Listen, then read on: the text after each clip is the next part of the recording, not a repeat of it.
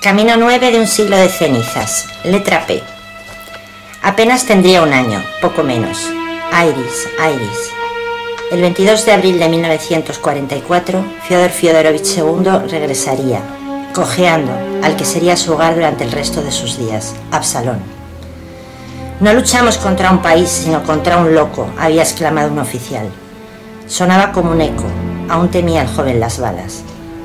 Los soldados esperaron un minuto mientras se alejaba. Todos rompieron a reír. Eran buenos chicos, libres de otro mundo. Hilder odia el tabaco, dijo alguien entre el paisaje siciliano. Un hombre así no puede ser bueno, apostilló un italiano. Fiodor los miraba, casi congraciado con el mundo. Repartieron cigarrillos y cerillas. La tropa estaba contenta. En 1939 se llevó a cabo el primer estudio controlado del mundo sobre tabaquismo y cáncer de pulmón obviamente en Alemania. He leído que solo se alimenta de pan y leche, así cree mantener la pureza de su sangre.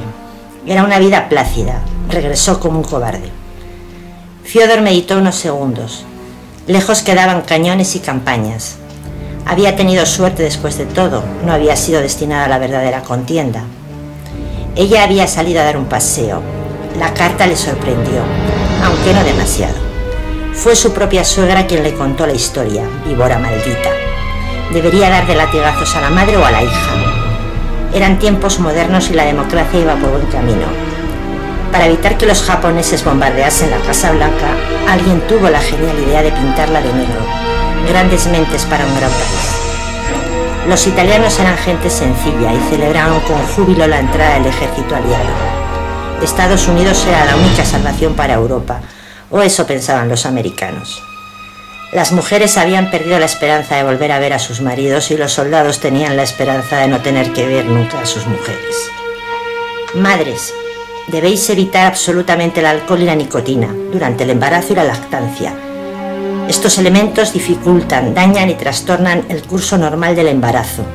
Bebed zumo de frutas. Ojalá su suegra hubiese fumado, al menos tendría algún punto de humanidad.